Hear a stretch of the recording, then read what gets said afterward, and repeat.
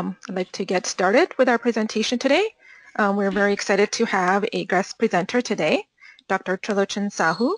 Um, Dr. Sahu began his training in human genetics at Duke University and then completed it at Baylor College of Medicine.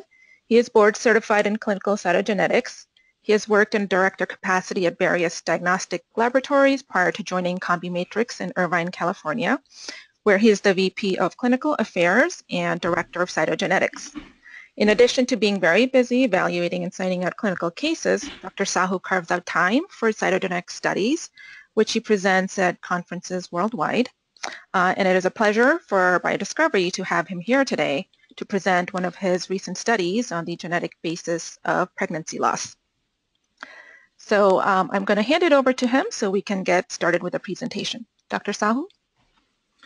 Uh, thank you, Shalini, and uh, thanks to BioDiscovery for the invite to present some of our uh, recent uh, studies um, on pregnancy loss. My disclosure, I'm a full-time employee at uh, CombiMatrix Diagnostics and own stock in the company. So just to set the groundwork for what I'm going to present today, I think it would be appropriate to state that the whole field of genomic disorders has unraveled uh, itself and continues to do so. And over the last uh, decade and a half, we have come to recognize the importance of human genome copy number variation in both health and disease. Rearrangements of our genome can be responsible for inherited as well as uh, sporadic traits, Mendelian disorders, many complex disorders such as uh, neurobehavioral phenotypes. Although Traditionally, chromosomal aneuploidy accounts for the majority of imbalance. Unbalanced structural aberrations contribute uh, to a significant fraction of what we uh, identify or recognize as uh, genomic disorders. The powerful tools that we have today have uh, allowed us to interrogate the genome at a genome-wide level, and that has resulted in the identification of uh, previously unrecognized uh, structural cytogenetic uh, aberrations, which are often associated with uh, genetic syndromes. Additionally, we now have a much better understanding about the underlying mechanisms that uh, come into play, resulting in uh, various types of uh, genomic disorders. So basically, the numerous genomics or whole genome or genome-wide tools that we have uh, today have uh, uh, greatly enhanced our ability to both diagnose as well as discover a vast array of genomic disorders.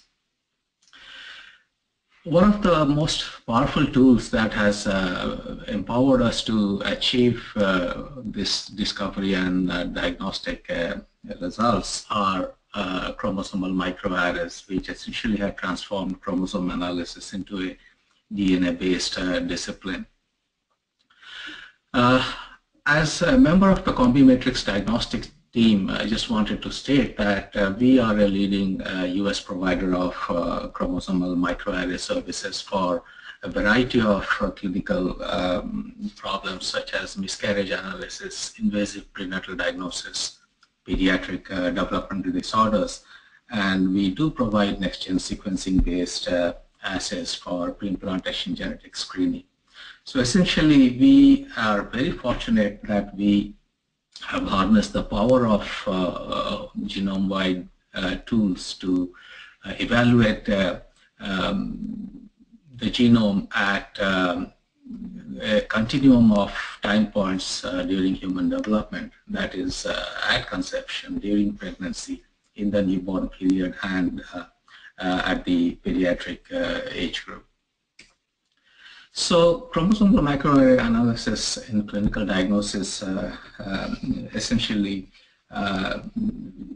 needs the use of two very important components. One is to have a, good whole genome microarray platform and uh, to complement that you need a robust uh, software to both analyze and evaluate uh, genomic copy number variation.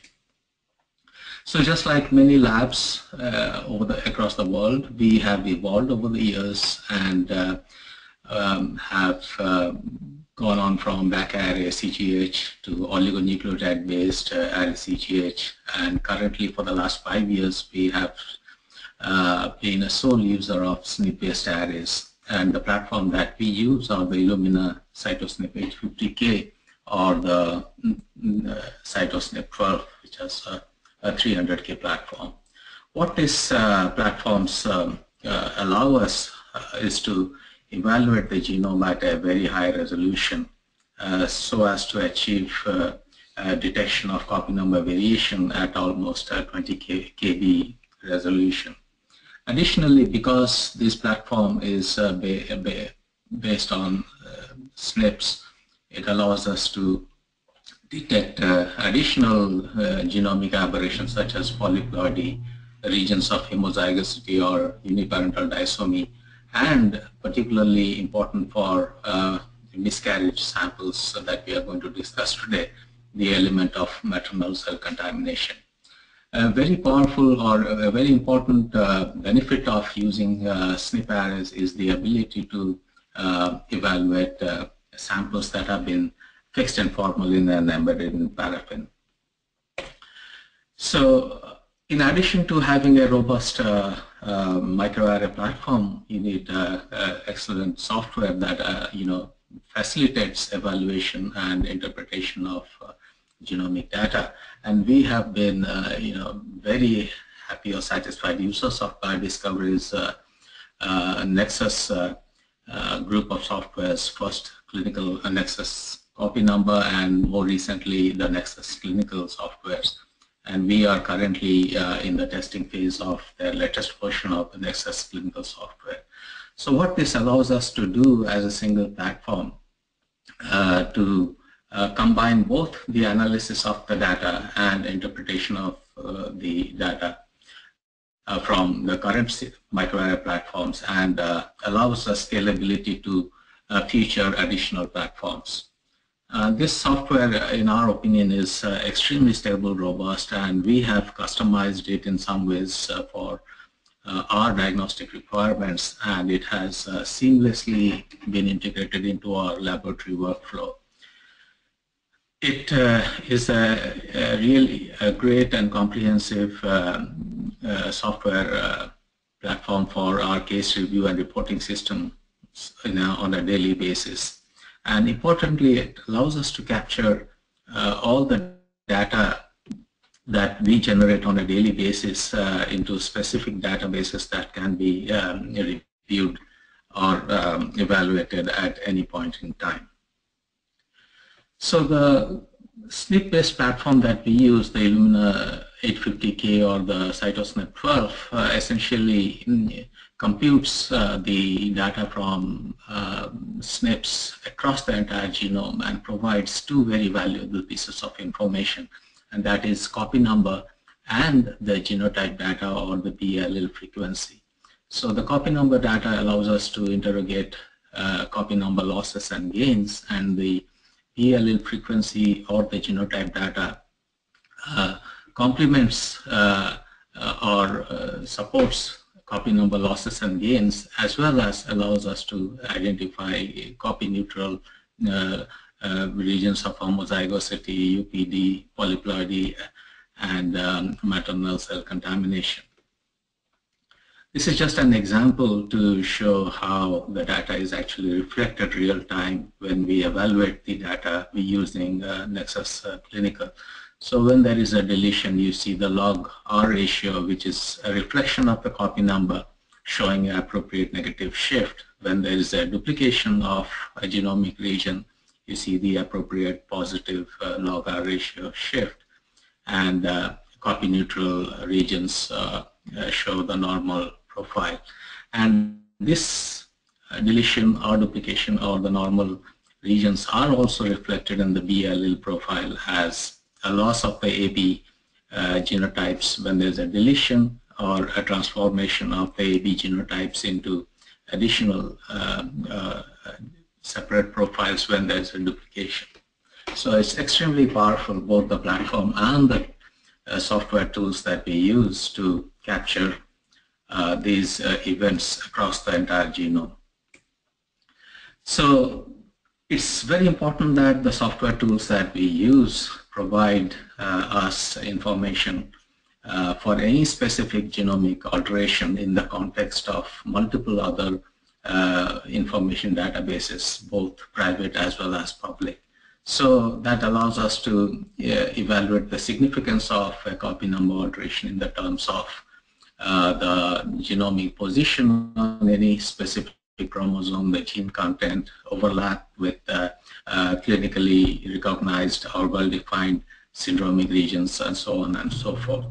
So it is very valuable that we have all these resources integrated into a, a, a single, single platform that facilitates evaluation of clinical data. So now I'll switch gears to actually share with you our uh, five-year experience uh, uh, evaluating uh, pregnancy loss.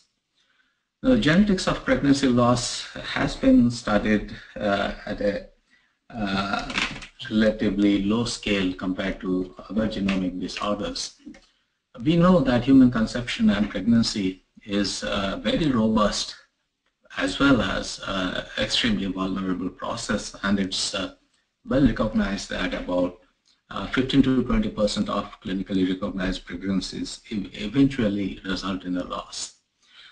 The most common etiology which is well recognized is uh, genetic, uh, most often numerical and structural chromosomal abnormalities. A definitive cause uh, a genetic cause is often very difficult to achieve because of the nature of the samples that we get when there is a uh, pregnancy loss or miscarriage. They are very challenging sometimes and uh, if one follows conventional um, cytogenetic uh, methods, uh, the failure rate is uh, extremely high because of the nature of the sample.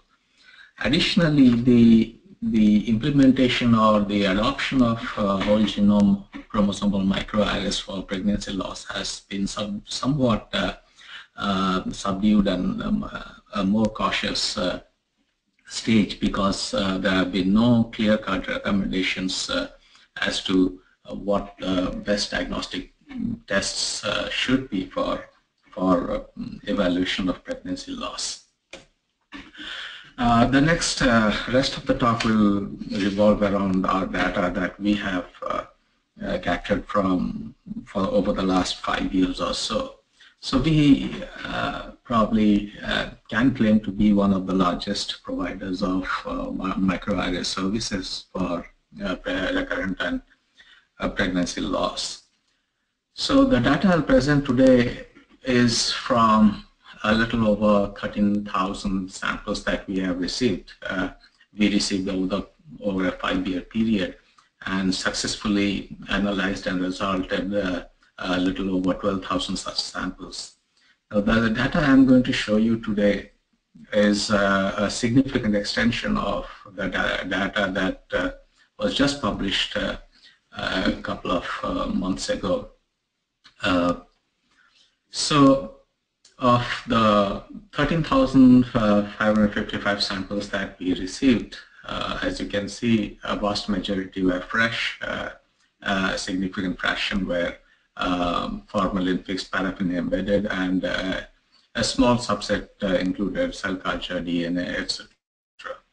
And um, our success rate uh, is, uh, in our opinion, quite impressive in that we can achieve great results in over 91% uh, of fresh samples, over 83% of FFP samples, and close to 98% of other sample types. So we do have a success rate of approximately 91% uh, uh, overall, which if compared to conventional cytogenetic analysis of miscarriage samples is uh, extremely impressive.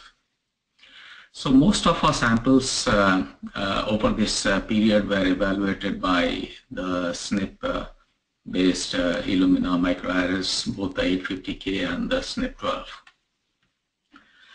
Uh, the reasons for referral for most of the samples uh, for, fell into you know expected groups, recurrent pregnancy loss and spontaneous abortions encompassed uh, over 80% of the samples and close to 10% of the samples uh, were from stillbirth or intrauterine fetal death. The median age for patients was 34 years and um, slightly above that for uh, patients in who, whose samples we actually got abnormal results. So the next couple of slides are very important because they reflect, uh, you know, the results that we obtain, which is very valuable for our patients. So of the 1,200, uh, 12,324 uh, sam samples that we uh, successfully analyzed, about 50%, 54% of them gave abnormal results, 44% were normal, and in 2% of cases we identified variants of uh, uncertain significance. Now it's important to state that uh, the normal results had a equivalent distribution for both male and female uh, gender because uh, as we can imagine and as I'll show later on, maternal cell contamination is a very big challenge for a significant fraction of uh, miscarriage samples and uh, the, the risk of uh, having um, excessive maternal tissue or contamination with maternal tissue often compromises uh, the results. So uh, equivalent distribution of both genders in the normal sample set is uh, a reflection of the fact that uh, their maternal cell contamination was not often not very confounding in majority of the samples. So um, it's also important to note that uh, the abnormality rate in fresh or non-FFP samples was slightly higher than uh, that seen in FFP samples. And uh, the abnormality rate, whether it was recurrent pregnancy loss or spontaneous abortion, was almost equivalent. Whereas in cases of um, IUFD or fetal demise or stillbirth, the abnormality rate was uh, around 15%. This is a very crowded slide, but it uh, encompasses uh, um, a vast amount of data analyzing every signal, every single abnormality type that can be uh, detected by uh, whole genome SNP-based chromosomal microarrays. And uh, as you can see, the list of abnormalities that we can detect is, uh, is as broad as we can achieve at this point in time with these platforms. So the three most common uh, types of abnormalities were trisomies, both uh, single and multiple trisomies, monosomy X and uh, triploidy. Then we had uh, multiple other abnormality types such as uh, uh, deletions and duplications, uh, terminal deletions and duplications suggestive of uh, unbalanced translocation, small percentage of uniparental di disomy, so on and so forth. And we, we um, conclude that about 91% of all abnormalities um, encompass these three groups and uh, these are uh, undoubtedly causative of the pregnancy loss. Now, as I said in the previous slide, trisomies were, uh, you know, single or multiple uh, were the most common uh, abnormalities, almost 65% of uh, the abnormalities that we observe. And of these, as one would expect, chromosome 16 or trisomy for chromosome 16 remains the most common, uh, followed by chromosome 22, 21, chromosome 15, etc. But uh, it's important to note that the the data for trisomies for many other chromosomes is unavailable, uh, you know, from traditional techniques. Uh, and we have uh, observed trisomy for almost every chromosome except chromosome 1 and uh, uh, probably chromosome 19. So this is a comparison of uh, more classical uh, um, traditional data to show that uh, autosomal trisomies are actually uh, um, identifiable at a frequency higher than traditionally thought of. Now, for the next few slides, I'm going to give you some examples I'll show you some actual uh, examples of cases that uh, we have uh, observed and reported, both uh, common as well as uh, not so common uh, in frequency. this is an example of the most common abnormality that is trisomy 16, where you can see the value of having a, a really good microarray platform as well as uh, robust software to evaluate uh, very sensitive uh, and specific abnormalities. Just an example, mm, zoomed in view for chromosome 16 showing uh, gain in copy number across the entire chromosome uh, reflected uh, appropriately in the B allele profile. This is another very common abnormality uh, monosomy X, where uh, single copy for the X chromosome. I also mentioned in uh, one of the earlier slides that uh, multiple trisomies uh, encompass about 3% of uh, uh, all the abnormalities that we have identified. And this is an example of a case with triple aneuploidy that is trisomy for chromosomes 9, 11, and uh, 20. Complex abnormalities are uh, not uncommon and uh, can be of various types and include uh, large segmental aneuploidies as well as uh, smaller uh, segmental aneuploidies and segmental UPD. This is an example of a case where you see a deletion on chromosome 11, a terminal duplication or triplication, uh, which appears to be mosaic in nature for chromosome 12. Then you have a complex rearrangement involving chromosome 18. So the chromosome 12 terminal abnormality is likely a, a, a a triplication which appears mosaic in nature from the log R value and the genotype profile.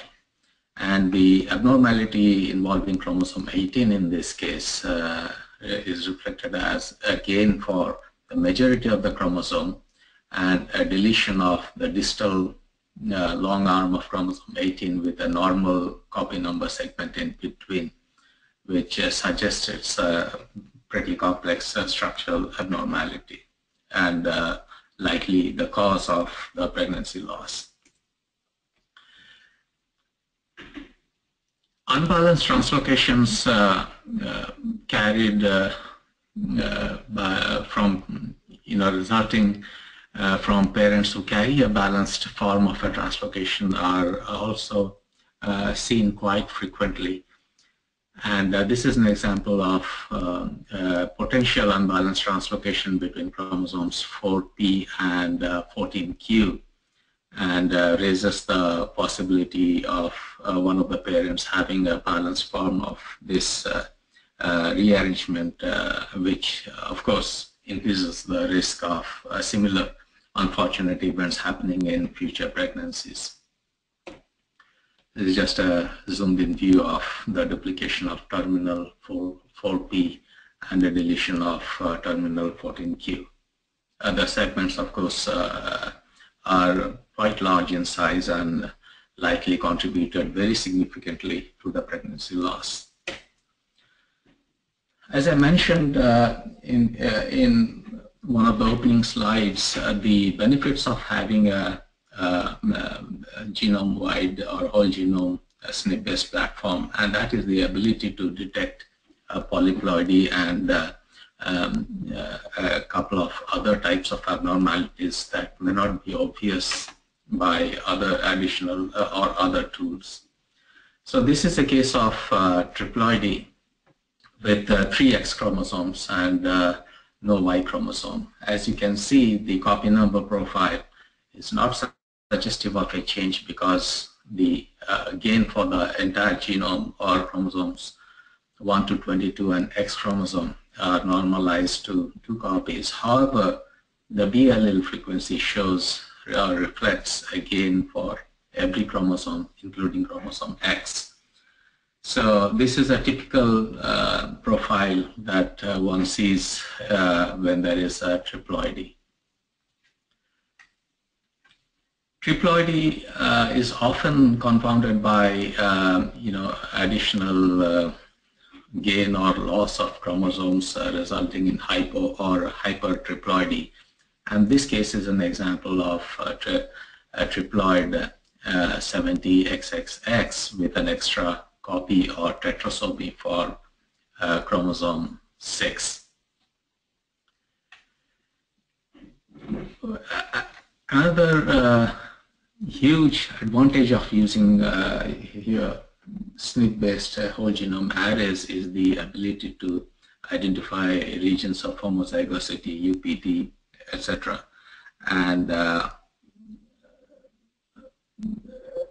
uniparental isodisomy for the entire genome is uh, uh, a pathognomonic feature of molar pregnancies.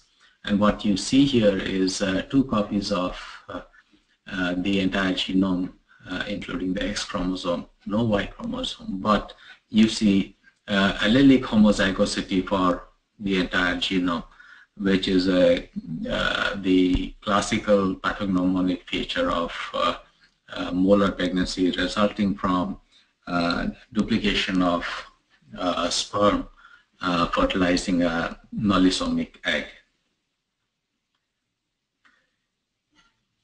In addition to the abnormalities that uh, we identify that are uh, either causative or potentially contribute to uh, pregnancy loss, we often identify, um, as I showed in one of the earlier slides, uh, deletions uh, and duplications, either uh, just as a single event or superimposed upon uh, more uh, significant abnormality.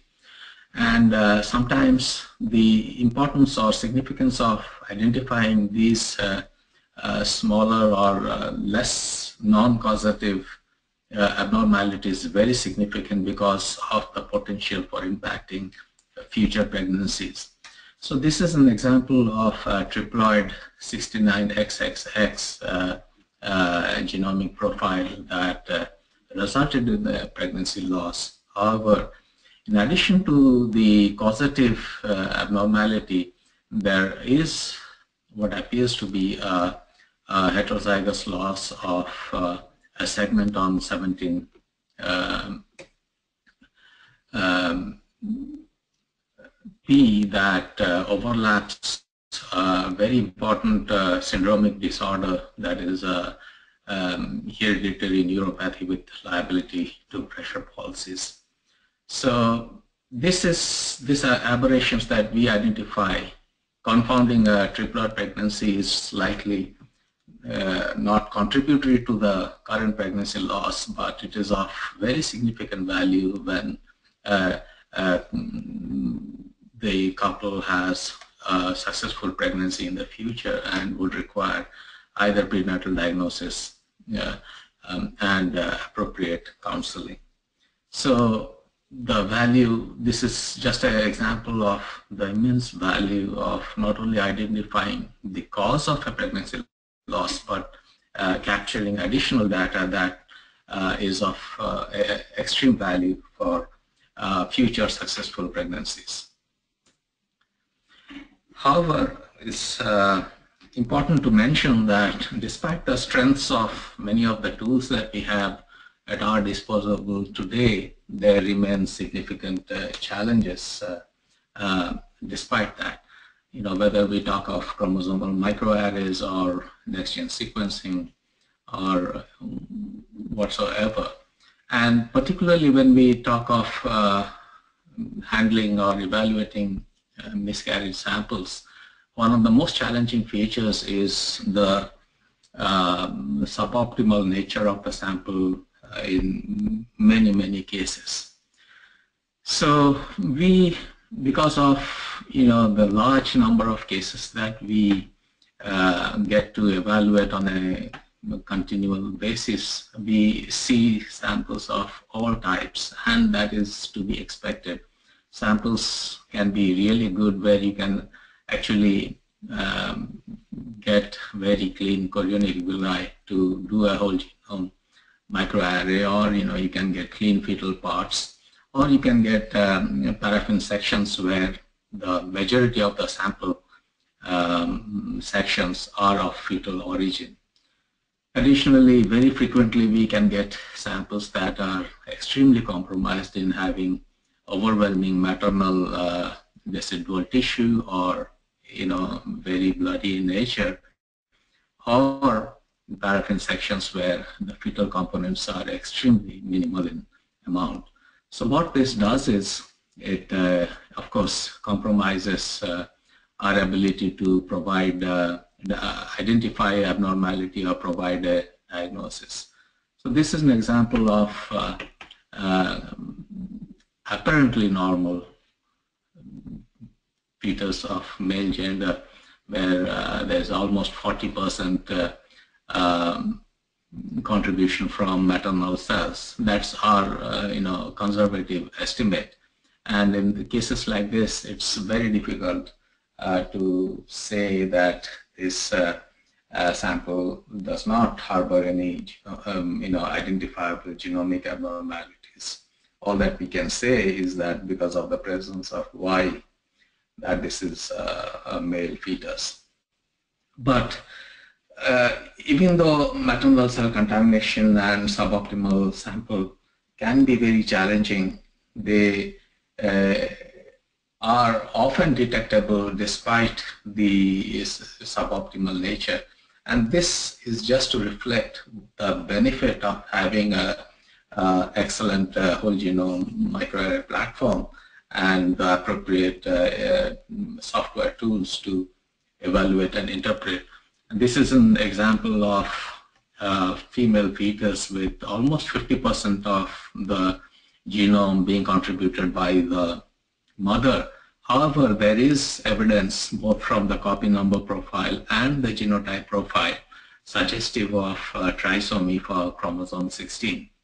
So despite the challenges, we have over the years uh, gained uh, significant experience in being able to provide uh, appropriate diagnosis um, uh, uh, in the midst of um, significant maternal cell contamination.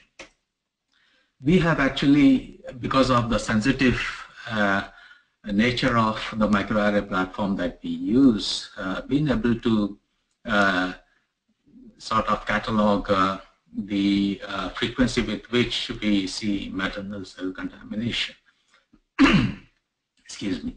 And uh, we have um, noted or cataloged MC maternal cell contamination in over half of our cases. And it's only in a small fraction that we see uh, maternal cell contamination of 10% or more.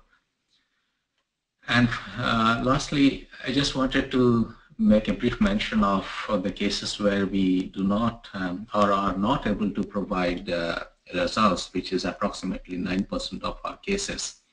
And uh, most often it is because, um, as I showed in the previous slide, the samples are uh, really poor in quality and we are unable to achieve uh, um, mm, or obtain adequate amounts of fetal tissue and subsequently DNA. This is another example of um, how, because of the platform as well as the software, we can still go ahead and provide diagnosis uh, um, in the midst of um, um, having a significantly compromised samples. So uh, as you can see that um, this B allele profile is reflective of significant maternal cell contamination, which we estimate to be about 25%. But however, uh, we also notice the profile which is strongly suggestive of a triploid uh, 69XXX uh, uh, abnormality. So in conclusion, I just wanted to restate some of the facts that I have tried to share with you today, and that is that uh, uh, chromosomal microarrays with uh, the advantages of having robust analytical tools, uh, uh particularly microarrays and uh, softwares, are very successful in evaluation of fresh and FFP POC samples and provide a diagnosis in uh, for a vast majority of our patients. A wide range and variety of numerical and structural abnormalities that we have identified uh, complement uh, what has traditionally been known as, uh, you know, contributing to pregnancy loss in over 50% of the uh, cases. And because of the large sample set and the variety of abnormalities that we have been able to identify and catalog, we uh, would like to state that uh, we are currently, or we currently have a much better understanding of the spectrum as well as the frequency of specific uh, common as well as not so common abnormalities that contribute to pregnancy loss. And it is our, our hope that uh, professional um, recommendations uh, would uh, uh, push for chromosomal microarrays to become the first-tier diagnostic test for miscarriage analysis of any gestational age. So that um, we can harness the power of these technologies and provide answers to most of our patients and their families dealing with pregnancy loss and uh, in search of answers. I would like to end by uh, acknowledging many, many of uh, my talented colleagues uh, who contribute significantly uh, to provide answers to our patients and their families on a daily basis. Thank you and uh, love to take questions. Okay, so um, do you need to validate CMA results by a second method? If so, which? Uh, we uh, usually do not validate uh, the CMA results with um, a second method, except in the rare cases where we are, you know, have questions about, uh, you know, the um, legitimacy of a finding and if the samples are extremely compromised and if they are amenable to a second testing such as FISH or um, karyotype. But it's uh, rarely a need for us to uh, evaluate by a second method. Great, thank you. Uh, but uh, I, you should mention that uh, in those rare cases where we expect uh, or have a suspicion of tetraploidy, that is one situation where we always try to confirm because the genomic profile of uh, cases with tetraploidy is not obvious uh, like what you see in uh, triploidy. Great, and that's you. only possible for fresh samples. Okay, thanks. Um, that was actually uh, the next question. Um, how can you detect tetraploids? Um, yeah, uh, that, that's uh, that's uh, very challenging, and uh, you know if if there is equivalent contribution for, of uh, two haploid genomes from the um, two parents, then it's uh, very challenging. It's subtle differences in you know the B allele profile or you know rarely in the log R that raises a flag and it's only then that we suspect. And uh, the few cases is actually a handful of cases where, where we have actually suspected tetraploidy. Our suspicions have been confirmed by, um, by FISH. So I wish I had, uh, you know, a case to show you where we actually detected uh, tetraploidy based on our suspicion, but uh, it is it is an, uh, a challenge. Uh, but at the same time, the frequency of tetraploidy is uh, extremely low. Um, great. And then continuing with that question, um, it was uh, given that 50% of first trimester miscarriage samples are gene genetically abnormal, majority being trisomic, do you feel CMA provides value over QF-PCR? Uh, well, uh, yes and no. If, if so the limitation of QF-PCR is only that much or that many types of uh, um, abnormalities or trisomies that you can interrogate. So what if it is a rare case of trisomy 2 or trisomy 7 or, you know, trisomy, um, you know, 17? And if you do not have a panel that uh, covers many of these uh, less frequent uh, um, trisomies, then obviously you have a risk of having a false negative result. And uh, so QFPCR probably is economical and can achieve uh, results in a, in a, majority of cases, but still, uh, in our opinion, we should aim to achieve as much diagnostic uh, power and detection rates as possible. And I think at this point in time, chromosomal microarrays uh, serve that purpose to a great extent. Great, thank you. Um, do you think CMA will remain the gold standard as NGS is becoming more popular? Well, for, again, it's our opinion from our experience over the last many years uh, dealing with uh, such a large number and large variety of samples, we we hope at least that it will remain the gold standard for uh, the immediate future. Uh, because of the nature of the samples in um, uh, in the significant fraction of cases where they are compromised either by maternal tissue or by you know uh, non-fetal um, elements. So their next-gen sequencing becomes uh, which I'm presuming is the upcoming uh, platform becomes uh, very, very challenging to achieve the type uh, degree to which we can achieve results by chromosomal microarrays. Know, the sensitivity and specificity in the presence of confounding factors such as uh, maternal cell contamination or compromised samples still remains very high. And um, I'm sure that uh, that will probably be achieved by uh, next-gen sequencing or other platforms in the future. But uh, that's uh, to be seen. Great, thank you. Um, can you describe your PGS service? Yeah, so we have uh, been providing uh, pre-implantation genetic screening for chromosomal uh, aneuploidies and uh, abnormalities for the last uh, uh, over two years. And currently we use the Illumina VeriSeq next-gen sequencing based based platform using that provides a low-pass sequencing across the um, entire genome.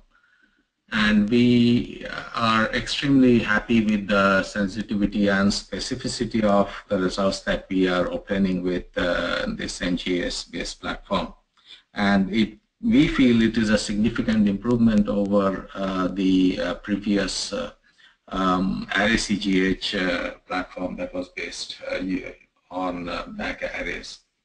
So we have over close to 5,000 embryos that we have analyzed and we see abnormalities and again close to 50% of samples.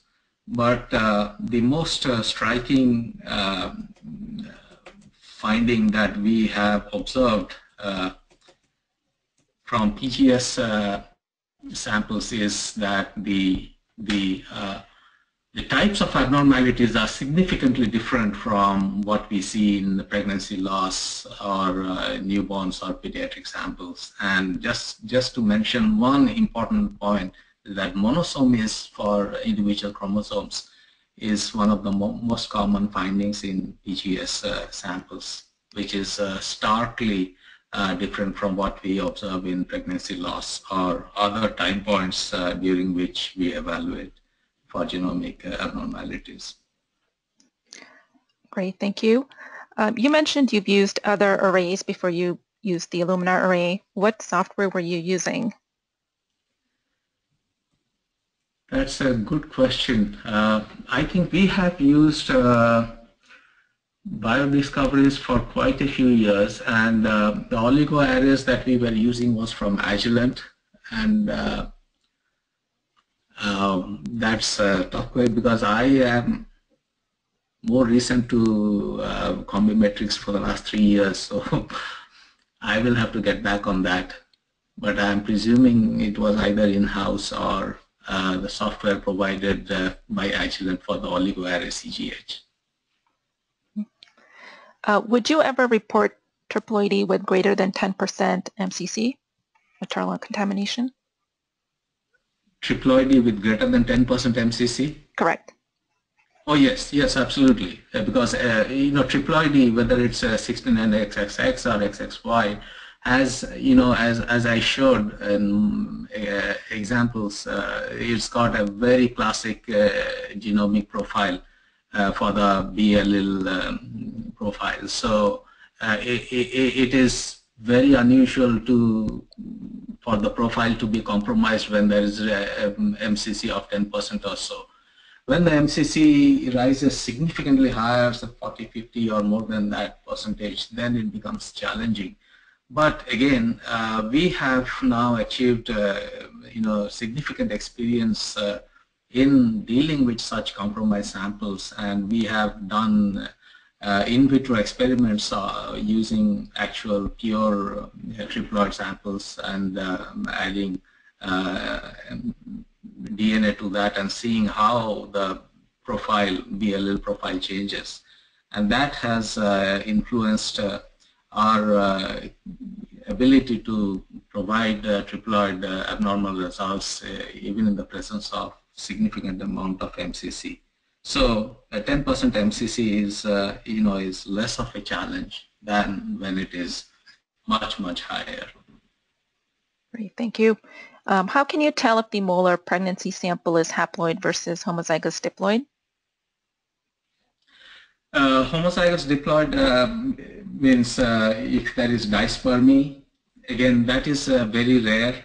Uh, we, but we have uh, identified, I think, a couple of cases where the molar pregnancy is because of dispermy, and then again that has a signature because of the uh, crossovers between the uh, two uh, haploid genomes from the two individual sperms. So that again, unfortunately, I, you know, because of time, I did not have um, a chance to include that data. But yes, it is it is a, a suspicion which, uh, because of the allele profile pattern, but it's very difficult to confirm. Um, but I should mention and emphasize that uh, uh, classical molar pregnancy is what I showed you where there's a clean homozygosity across the entire genome. But if it is molar, uh, the outcome is a molar pregnancy because of um, the two haploid genomes from dispermy, then the pattern is a little different. And uh, we have recognized that, um, and but it remains unconfirmed.